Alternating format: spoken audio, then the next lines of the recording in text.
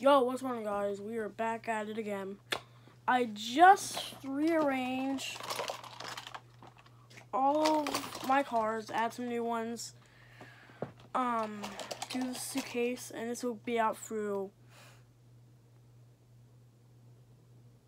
two months when we get back to school. When I get a chance to do all this, this will, this is what we're going to be doing.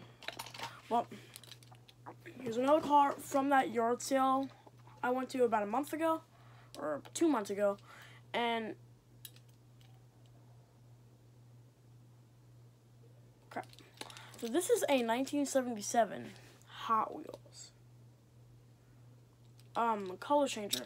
As you saw in that video about a month ago, I'll link it in the description. Um.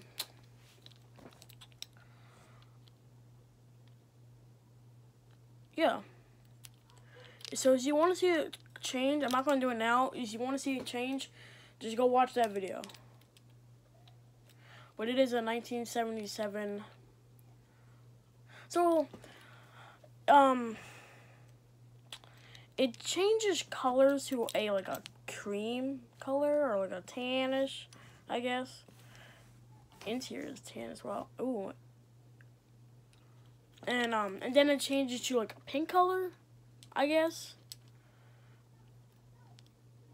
looks like a Ferrari. Yeah, it says Ferrari on it. 308, 3B? I don't know. Cool.